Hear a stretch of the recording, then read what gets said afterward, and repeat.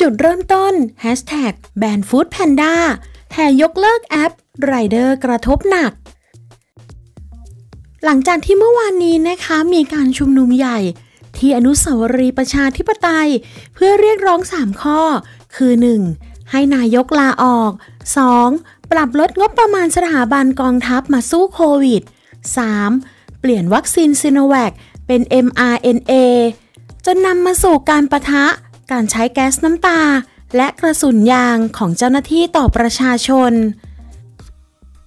แต่อีกหนึ่งเรื่องนะคะที่กลายเป็นประเด็นร้อนข้ามวัน ก็คงหนีไม่พ้นประเด็น Hashtag แบนฟู้ดแพนด้า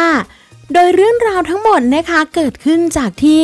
ผู้ใช้ทวิตเตอร์รายหนึ่งนะคะ ได้ทวิตคลิปวิดีโอของผู้ชุมนุมรายหนึ่งค่ะ ที่เข้าไปกระทำบางอย่าง ที่ป้ายที่กำลังถูกเผา ก่อนจะเดินขึ้นไปบนรถจักรยานยนต์ ที่มีกล่อง foodpanda วางอยู่นะคะ จากนั้นก็มี account ของ at foodpanda underscore th นะคะ ก็เข้ามาตอบกลับว่า ทางเราจะเร่งดำเนินการตามกฎระเบียบขั้นเด็ดขาดของบริษัท โดยให้พ้นสภาพการเป็นพนักงานทันที ขอเรียนให้ทราบว่า ทางฟู้ดแพนด้ามีนโยบายต่อต้านความรุนแรง และการก่อการร้ายทุกรูปแบบ และยินดีช่วยเหลือเจ้าหน้าที่ ในการดำเนินคดีต่อคนร้ายอย่างเต็มที่ค่ะ จึงกลายเป็นจุดเริ่มต้นนะคะของกระแสตีกลับอย่างรุนแรง ชาวเน็ตจำนวนมากต่างไม่พอใจ โดยเฉพาะการใช้คำว่า ก่อการร้าย ทั้งยังมองว่า ทางแบรนด์มีวิสัยทัศน์ที่สนับสนุนเผด็จการ และการสร้างความรุนแรงต่อประชาชนที่ไปร่วมการชุมนุม รวมไปถึงการตัดสินพนักงาน โดยที่ยังไม่มีการสอบสวนเรื่องราวที่เกิดขึ้นแต่อย่างใดทำให้ทัวร์ลงฟู้ดแพนด้าอย่างหนัก จนเกิดแฮชแท็กแบนฟู้ดแพนด้านะคะ พร้อมทั้งชักชวนให้ลบบัญชีและแอปพลิเคชัน แต่ทว่าเมื่อเวลาผ่านไปสักพักก็พบว่า เมนูลบบัญชี กลับหายออกจากแอปพลิเคชันนะคะทำให้ไม่สามารถลบบัญชีทิ้งได้ และเมื่อถามถึงเรื่องดังกล่าว ก็ได้ข้อความตอบกลับมานะคะว่า ทางเราต้องขออภัย เนื่องจากเกิดข้อผิดพลาดทางระบบ จึงทำให้ปุ่มลบบัญชีหายไปจากแอปพลิเคชันค่ะ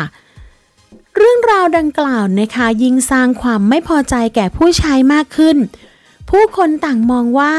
การเอาเมนูดังกล่าวออก ก็เพื่อไม่ให้ใครลบบัญชีออกได้นั่นเองนะคะ ในขณะเดียวกัน ร้านอาหารหลายเจ้า ก็แสดงจุดยืนของตนเอง บางก็ประกาศยุติการร่วมงานจนกว่าฟู้ดแพนด้าจะชี้แจงเป็นที่พอใจ บางก็ขอยุติการร่วมงานกับฟู้ดแพนด้าเป็นการถาวร ทว่าจากการแบนดังกล่าวนะคะ กลับทำให้ไรเดอร์ของ Food Panda ได้รับผลกระทบด้วยเช่นกันค่ะ ไรเดอร์ส่วนใหญ่กล่าวว่า ตนกำลังจะได้รับผลกระทบจากเรื่องราวดังกล่าวอย่างหนัก แม้ว่าพวกเขาไม่ได้เห็นด้วยกับข้อความดังกล่าว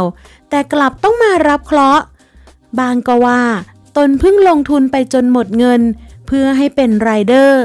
ยังไม่ทันรับงาน ก็ต้องมาเจอเหตุการณ์แบบนี้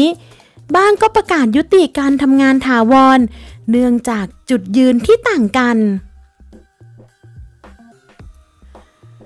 ด้านฟู้ดแพนด้าก็ออกมาชี้แจงถึงเรื่องราวดังกล่าวนะคะ เราขออภัยสำหรับข้อความจากทีมงานที่โพสต์ก่อนหน้า เรายังคงตรวจสอบเหตุการณ์ที่เกิดขึ้นในวันนี้ เราขออภัยอย่างสูงสำหรับการตอบกลับคอมเมนต์ และการตัดสินใจอย่างไม่ละเอียดถี่ถ้วน ที่เกิดขึ้นก่อนหน้านี้ ในขณะที่ทีมงานยังคงตรวจสอบข้อเท็จจริงของสิ่งที่เกิดขึ้น เราเสียใจที่ทำให้ผู้บริโภคทุกท่าน และร้านค้าพันธมิตรผิดหวัง